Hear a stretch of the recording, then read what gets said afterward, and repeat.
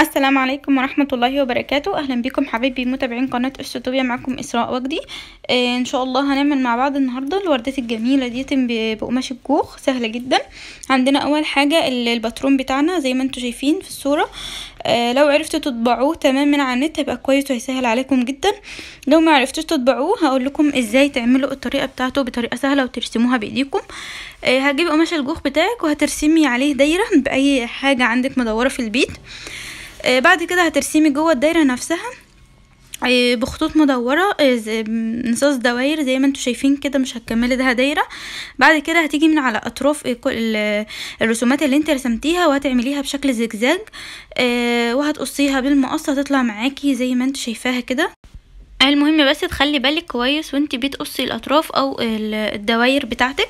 آه، بعد كده هنجيب مسدس الشمع بتاعنا وهنبدأ إن إحنا نحط المسدس على طرف ال- ال- الشكل اللي إحنا قصيناه من بره.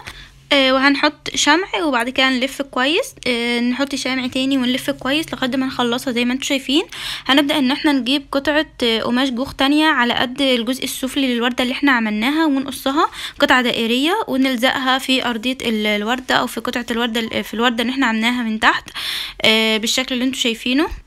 آه، بعد كده هجيب قطعة جوخ تانية لون أخضر يفضل عشان تبان إن هي الورق وهقصها آه، زي ما أنتوا شايفين كده وهلزق هحط الشمع وهحط الأستك أو الدبوس اللي أنا هحطه بين الوردة وبين ورقة الشجر اللي أنا عاملاها آه، وزي ما أنتوا شايفين كده طلعت معانا آه، ممكن تعمليها كأستك أو توكة لبنوتك أو ممكن تحطيها على آه، دبوس أو كلبس شعر آه، شكلها حلو جدا آه، أتمنى يكون الفيديو عجبكم واستفدتم منه ما تنسوش ال like وال share وال subscribe للقناة لو أول مرة تشوفوني.